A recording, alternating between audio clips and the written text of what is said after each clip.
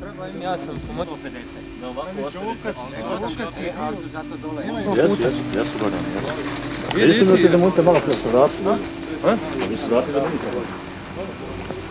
Ono, čovječe, ja sam vidio četvrte na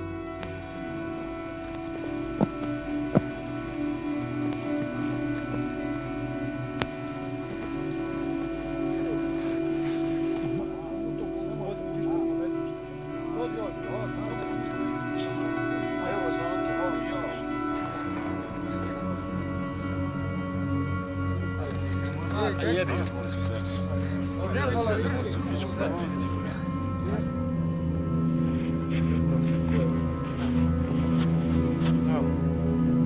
Ovaj ne znam, ovaj god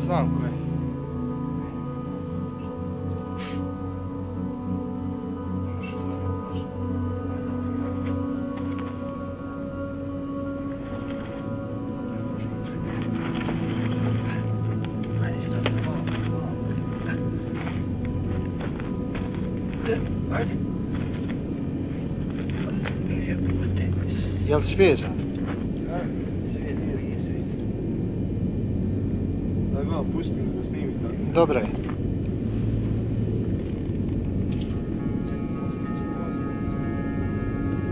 Tu.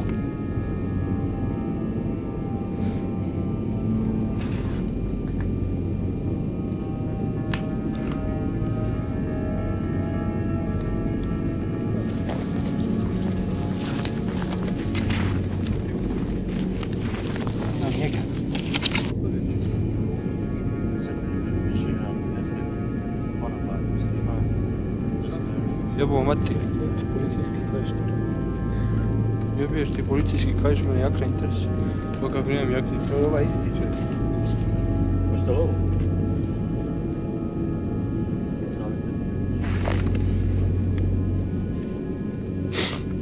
Evo Ivo kad je rekrutovan u štaba Sarajevo.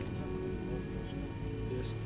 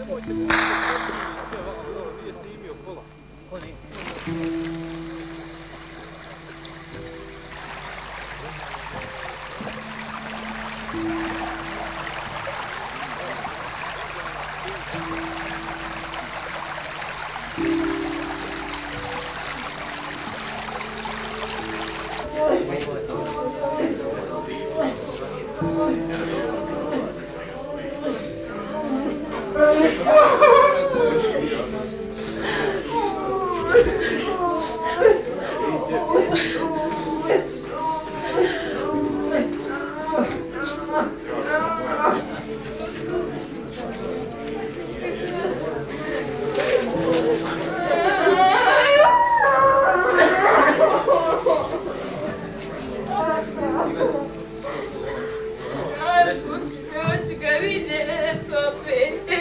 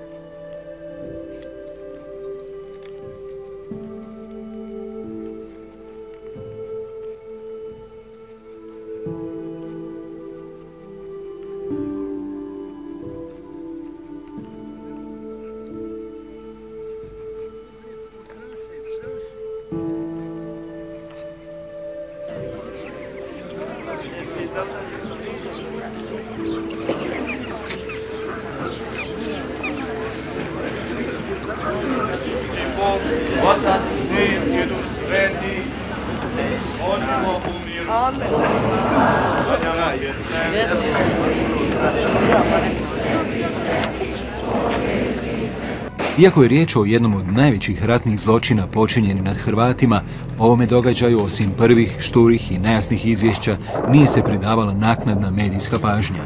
Nije se znao koliki je broj žrtava, a do sada nitko nije odgovarao za zločin.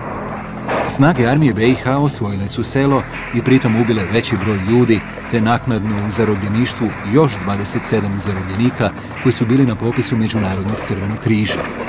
Utvrđeno je da su ukupno bile 64, iako određeni izvori govore o 74 žrtve tog brutalnog napada.